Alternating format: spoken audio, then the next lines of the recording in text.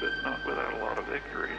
First, you have to educate, then you have to, which includes educating yourself, and then you have to try to organize, get people mobilized to do something, and then carry out uh, uh, actions of the kind that, uh, that threaten power and require a response, like, say, uh, CIO sit-down strikes. And there are plenty of other things you can do. So, for, for example, some things are going on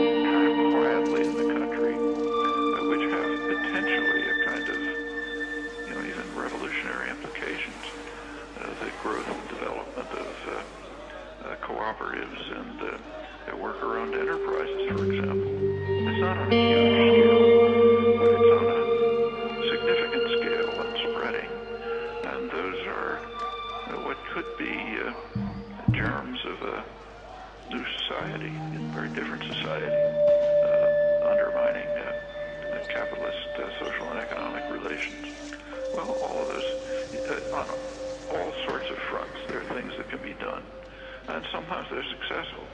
So there's no shortage of things to do. They're the kinds of tasks that have always been in front of people who wanted to, make a better world—not easy ones, but they're not impossible either. There's successes in the past that we can build.